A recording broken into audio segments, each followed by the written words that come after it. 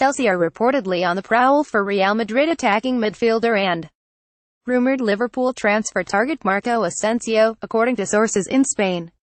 The Blues could do with strengthening an attack after exiting the Champions League after a 3-0 defeat at Barcelona this week, in a result that likely solidifies this season as one of failure and disappointment at Stamford Bridge. More, Chelsea rival Inter Milan and Napoli for Juventus star, transfer hinges on major condition Chelsea are also struggling to make it into the top four after some poor domestic form recently, and a player like Asensio could be just what's needed to get them back to their best next season. According to Don Balón, the West Londoners could be prepared to offer as much as £119 million for the Spain international, in what would be a club record purchase and the most expensive Premier League signing of all time.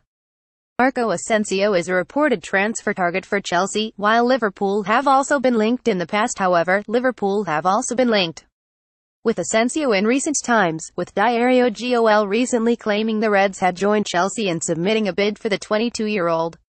Chelsea's need is arguably greater, though, with Liverpool already looking strong in attack thanks to the scintillating form of Mohamed Salah, Roberto Firmino and Sadio Mane for so much of this season.